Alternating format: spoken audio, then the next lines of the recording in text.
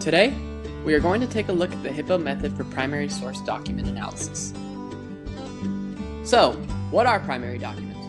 Well, primary documents are documents produced during the historical period under consideration and include things like government records, letters, speeches, diaries, merchants' account books, literature, pictures, and the like.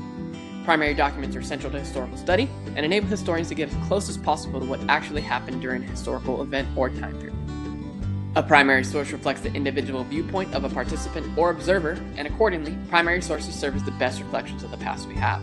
However, no single primary source gives historians a completely or totally unbiased picture, as each has its perspective, value, and limitations. Thus, it is imperative to critically analyze primary documents in order to gain a useful and coherent picture of the past. And today, we're going to use the HIPPO method to do exactly that. Each letter of the word HIPPO stands for a different step in the process. H. Historical context. We need to explain the events, ideas, and views present around the period the document was produced. We need to ask when or where was the document created? What was going on in that particular time and place? And how does this document represent that era or time period? I. Intended audience. We need to ask who is the primary audience? Is there a reason the author targeted that audience? And how might that influence the credibility or accuracy of the source? P.